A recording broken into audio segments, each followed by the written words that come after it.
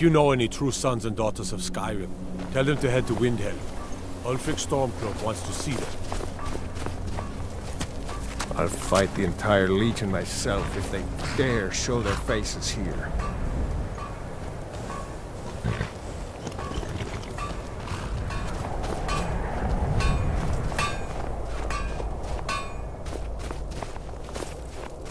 By the nine, I hate the waiting.